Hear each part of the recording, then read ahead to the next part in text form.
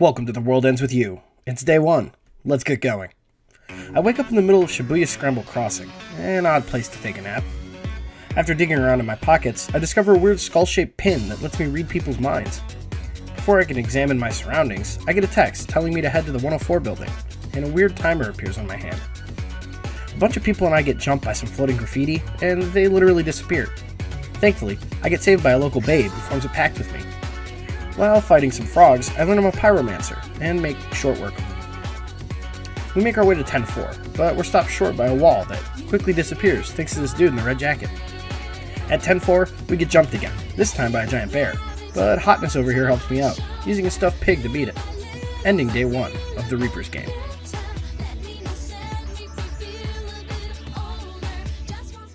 Welcome to The World Ends With You. It's day 2. Let's get going. Me and the babe wake up in the underpass by the station, and we get another mission, this one telling us to free the statue from a curse. We can't leave yet though, as there's another wall. The red jacket dude is back, and teaches us how to scan for noise, which we quickly erase. After leaving the underpass, we get confronted by two other players, Beat and Rhyme, and they teach us how to use technology, before I piss them off and make them leave. We go to head to the Hachiko statue by Scramble, but again, there's a wall, this time with the mission to free the statue from the curse. After erasing more noise, we make our way to Hachiko. Sexy Leg says there's something different about the dog, and I remember the guy by the other statue mentioned it needed a polishing, but upon doing that, we get jumped. The noise this time we're under the command of a Reaper, who offers me a ticket out of the game. All I have to do is kill Sweet Cheeks. Don't kill me.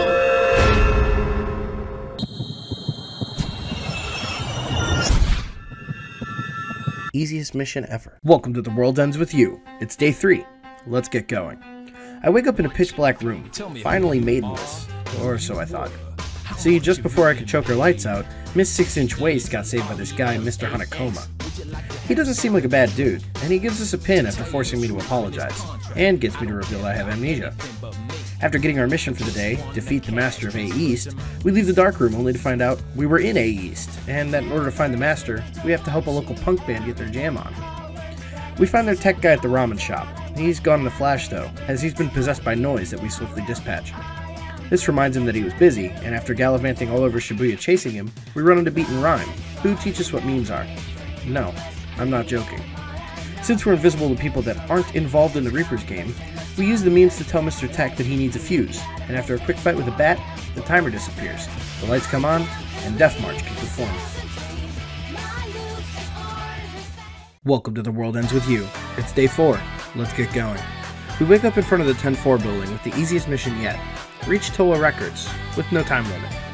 It's a simple 10 minute walk, so Beat challenges us to a race, and since I couldn't care less about winning, we shoot the shit with Rhyme a bit before heading in to do some shopping. Inside, I learn about the brand mechanics, correlating the strength of my pins by popularity. I also learned Wifey wants to be a fashion designer, and she actually created that stuff, I mean Mr. Mew, herself. After she sexually assaults me in order to sew a button back on, we catch up with both skulls before. We get introduced to Kariya and Uzuki, a pair of Harrier Reapers whose job it is to erase players. They leave after taunting Beat, and Mr. Hanekoma shows up to tell us that players only live for 7 minutes after their partner dies, but he knows a way to keep Beat alive. We promise him that we'll avenge Rhyme, and after doing so, I drive my point home to the girl. Having friends and teaming up can only drag us down. Welcome to The World Ends With You. It's day 5. Let's get going. I wake up to an apology from Slim Thick, and I ignore it in favor of the mission, which is to clear Spain Hill of the noise. While exploring, I learn a few memes, namely the game Reaper Creeper, and after freeing this dude from some noise, something about a tin pin ticket. Upon reaching Spain Hill, we start to tear up the noise, but they keep spawning in due to these two teens arguing about a boy. I figure if we solve their problems, the noise should dissipate. By playing Reaper Creeper with the girls, we reveal that Righty here was just trying to be a good wing woman for the lefty by buying her tickets to Tin Pin for the boy. Our timer disappears, but the celebration's cut short by Yodai Higashizawa, the current game master. He bullies the seamstress and sicks some noise on us to test our strength, before dropping the ultimate bombshell. We've been dead this entire time.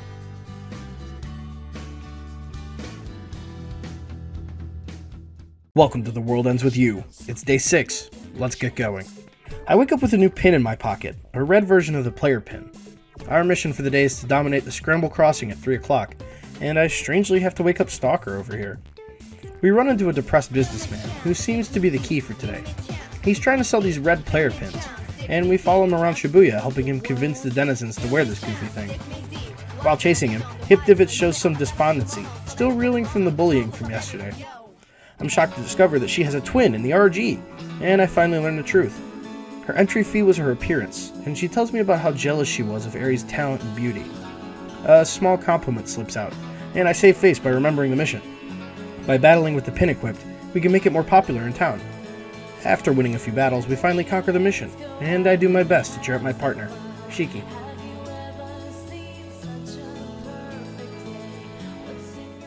Welcome to The World Ends With You. It's day 7. Let's get going. Our final mission is to defeat the Game Master, and it seems easy enough. Before we can get going, I get a phone call? I thought these didn't work in the UG. It's Mr. Hanekoma, telling me that Beat has mysteriously disappeared, and that since he doesn't have a partner, he's in immense danger. We now have to rush even more to beat the boss, and this Reaper standing in our way isn't helping. After crushing the Corvids, we have one last hoorah pep talk, where Shiki thanks me for this past week of character development. We set up a meetup after the game, where Shiki reminds me that I won't recognize her, so she'll bring Mr. Mew. This boss is relatively simple, as the only tricky part is his time for a taste attack that eats projectiles. We turn Mr. Mew into Godzilla, shoot Higashizawa with some purple lasers, and finally win the game. As we both ascend in light, I promise Shiki that I'll come find her.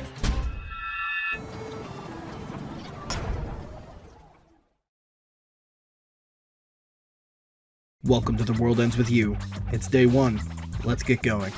I'm back at Scramble Crossing, partnerless. I'm more resolved than ever to win this thing, and the first mission seems simple enough. X equals 30 plus 74?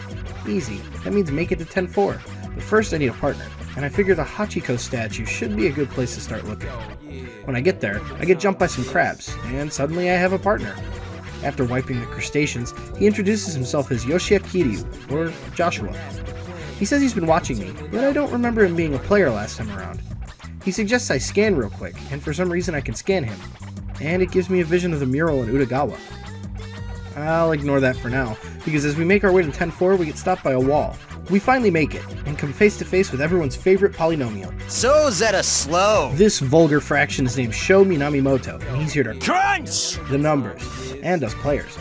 He seems to recognize me, and we call it a day after we factor his noise out of the equation. Welcome to The World Ends With You. It's day two. Let's get going. I wake up at Scramble to find Joshua on the phone with someone. The mission mail comes in soon after he ends his phone call, and he suggests that we play hooky, skip out on the mission, and let someone else handle it. But I tell him I can't do that. And I tell him about the end of the last game. Beat, Shiki, and I all won, but only one of us was allowed to return to life. Beat randomly decided to become a Reaper, so Megumi Kitaniji, the composer of the game, says that Shiki is the sole winner, and after ripping her away, tells me that she's my entry fee for the week. Joshua doesn't seem to care about this, and I make a deal with him. We can do the mission first, we'll do his thing after. He agrees, and as we make our way to Molco for the mission, we figure out that we're gonna have to win a Tin Pin Slammer tournament. It's basically the Street Pass minigame from Smash 3DS, something I was strangely a pro at. I lose in a cutscene, but thankfully another player comes in to save the day.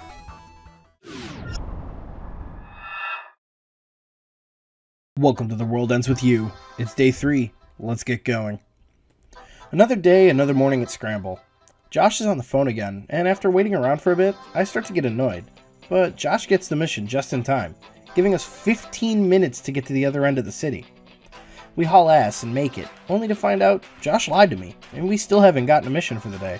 Joshua takes us to Wildcat, a coffee shop run by none other than Mr. Hanekoma, and after he upgrades our phone with a tracker and drops a title card on us, we search all over Shibuya for something.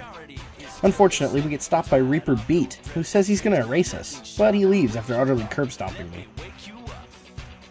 We get a hit in Dogenzaka at the new ramen place that opened up next to Ramen Don. We learn that the guy we helped last week market those red player pins is trying to run Ken Doi out of business, and he's been manipulating Eiji, the pretty boy, to do it. Thankfully, everyone realizes that when all anybody offers is something new, you get hungry for the familiar. Welcome to The World Ends With You. It's day four. Let's get going. We start the day off by beating Joshua in some tin pin, meaning we wait another hour for the mission to come in. It's super weird not having missions two days in a row, and after tricking Josh into telling me what he's searching for, the Shibuya River, whatever that means, he drags me off to Udagawa. On the way, we stumble across Death March, having a minor argument in the middle of the street, and unfortunately they notice us. Triple Seven says they lost their band's microphone, and we play Columbo looking all over for it, including using our handy dandy camera upgrade that lets us take photos of the past. We solve the mystery of the missing mic, Ooh, this mic set is sexy. It'll make a perfect addition to my opus. Minamimoto jacked it from us? and the Reapers let us go on. And after getting my ass whooped by Beat uh, yet again, we make it to Udagawa. Joshua checks out the big mural on the back wall done by the same guy that made the red pins, and I scan him again.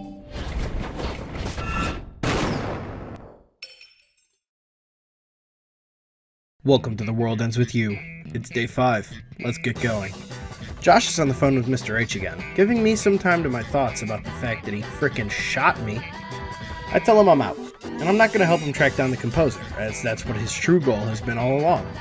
Before we can get going to Cat Street, Reaper stops us and asks if we want to play a game, before sealing off the entire route there with Reapers. We do some absurd tasks, like getting ramen, getting bullied for my fashion choices, playing tin pin, and ultimately ending with a limited pin challenge. We make it to Wildcat, where Mr. H fixes Josh's tracker, and he says the signal's coming from the underpass.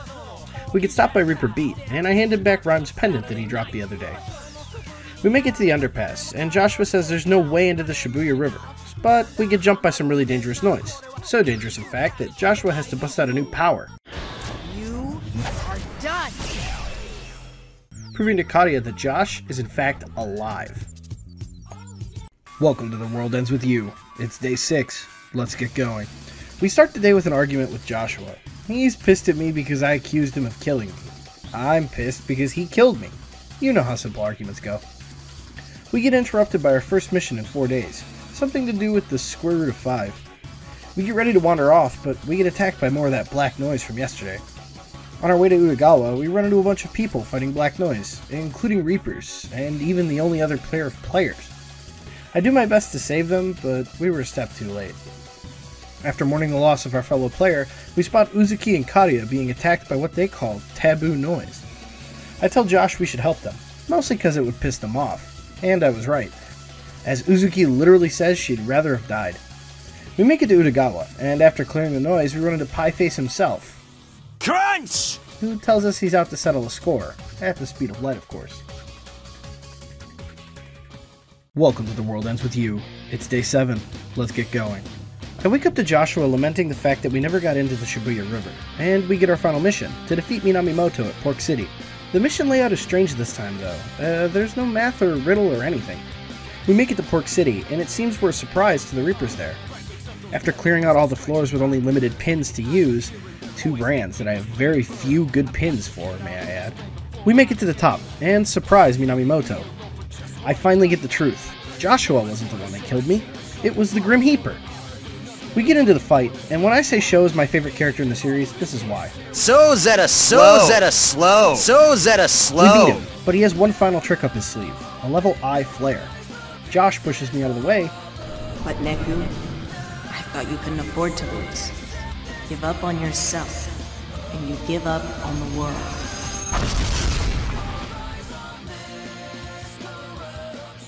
Welcome to The World Ends With You. There's seven days left. Let's get going. I'm in the game once again. Like every week before, the mission for day one is simple make it to 10 4. Like last week, I decided to check Hachiko for any players, but it's like a ghost town. I get a postscript mail telling me I'm the only player in the game. Without another player to make a pact with, I can't do combat, and Uzuki and Kariya are here, ready to throw hands. Beat shows up just in time, shouting about how unfair it is that I'm the only player, and he makes a pact with me. We clean up some noise before bouncing to get away from the Harriers, and I tell Beat about the ending to the last game. Shades told me that Minamimoto went rogue, and that I did him a favor by erasing him, so instead of disqualifying me for teaming up with an illegal player, he'll give me one more shot at the game. My entry fee this time was every other player. Beat and I head to where the Shibuya River is, and since we can't get in, we head back to clear the mission. After making it to 10 4, Beat tells me his plan. He's gonna take down the composer. Welcome to The World Ends With You. There's six days left. Let's get going. We get a mission mail, but Beat and I made a plan yesterday. We're to ignore those mission mails and try and figure out a way into the Shibuya River. Before we can get moving, we're confronted by this week's game master, Mitsuki Konishi. She tells Beat that he was formerly ejected from the Reapers, and that since he didn't erase anyone last week, he has just shy of five days before he ceases to exist. She proceeds to take the noise that's been on his shoulder since last week as his entry fee. After crushing it back into a pin, she gives us our mission defeat her within the next six days. We chase her into A East, but before we can fight her, Triple Seven of all people stops us, saying that there's a bounty on our heads, and he intends to collect. We beat him, and explain why we were going into A East. He said he didn't see anyone go in, and after going to check, we hear a scream, and upon entering the concert stage, we find the choker he was wearing. Welcome to The World Ends With You. There's five days left. Let's get going. We get jump scared by Shibuya Scramble, giving us one less day to work with. Beat gets a little stressed, seeing as he only has four days left, including today. Thankfully, our depressive episode is cut short by Uzuki. She taunts us, saying she has a side mission, and if we can complete it, we can have Beat's noise back. All we have to do is. I asked Beat what the mission was, because I definitely could not hear it over his elephant sneeze. He seemed lost too, and suggests we try playing Reaper Creeper with that old guy again to figure it out. Old man ain't having it though, as he says his creeping days are over. Beat starts to beat himself up over his incompetence, and drops new lore. Him and Rhyme were brother and sister, and the noise we're chasing Uzuki for is actually Rhyme's soul. Upon seeing us despondent, Pinky gets pissed, and makes fun of us for not knowing how to play tag, upon which I tag her. Kariya shows up and scolds her for lying to us about giving back the pin, and offers us a challenge.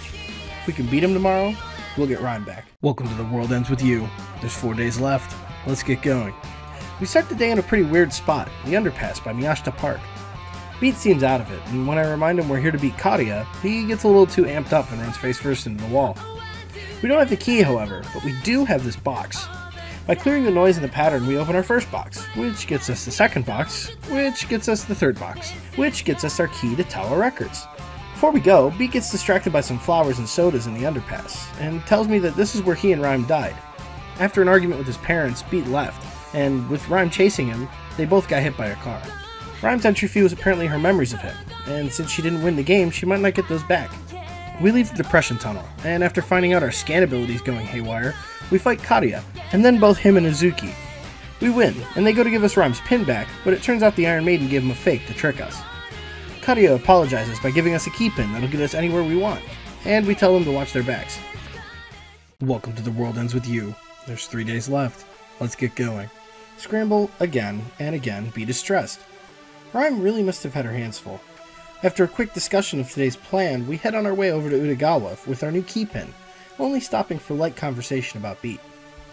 He tells me he wasn't always this hot headed, and that his folks and him were always arguing about his lack of direction and comparing him to Rhyme. He says he got sick of it and started to distance himself from her. I call him an idiot, but in an endearing way, and tell him that he shouldn't go the distance for other people. He should do it for himself.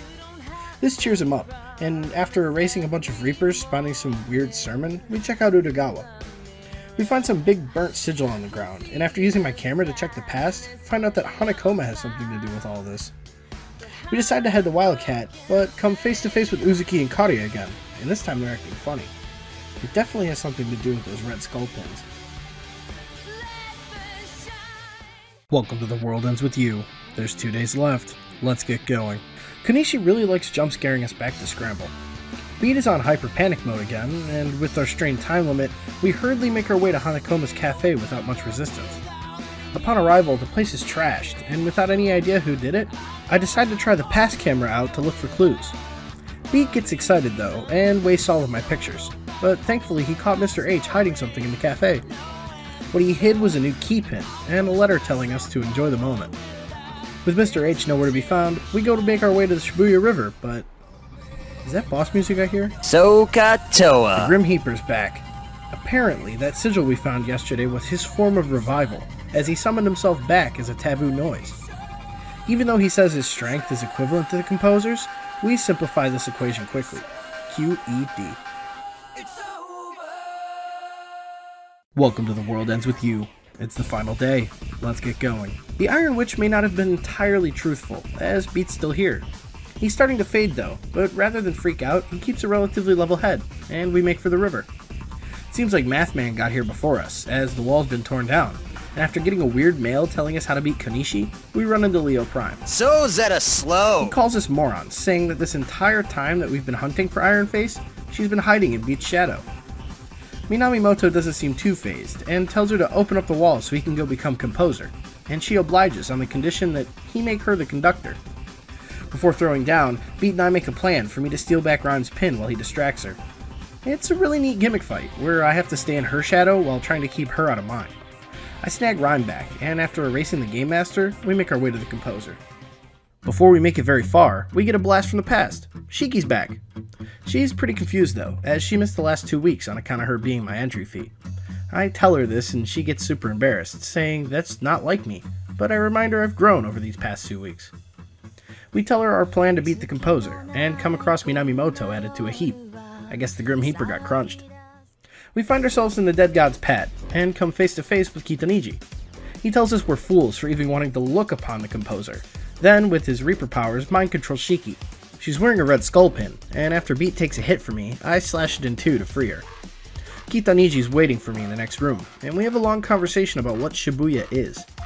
Kitaniji wants the city to become more homogenous, less individualistic, but that doesn't mesh with my outlook on life, or Neku's for that matter. Kitaniji destroys my player pin, as they inherently block the red skull pins, but I'm built different, and Shiki and Beat show up to help me pound shades. After round 1, we get another blast from the past. Joshua's returned. Snake Eyes captures him and my friends, but I use the power of friendship to achieve victory.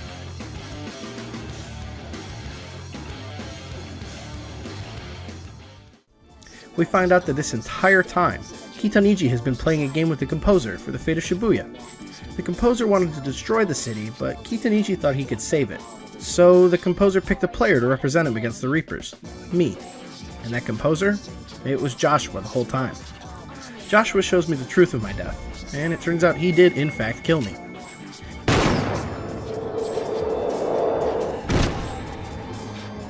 He challenges me to one final game a shootout to the death, with the winner deciding the fate of Shibuya.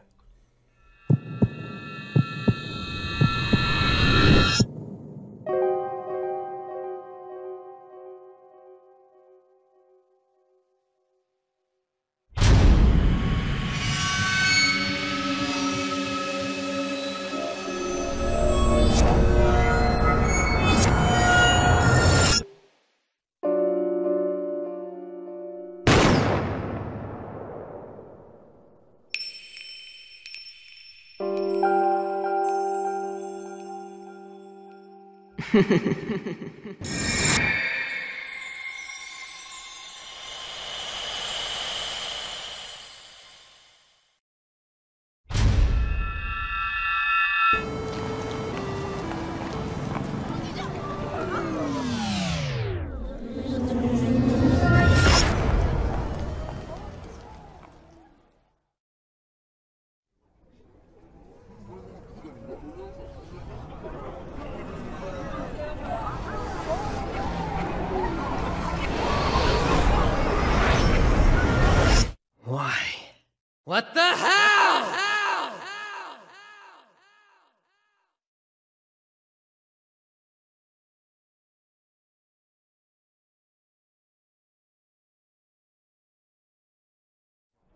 Same streets.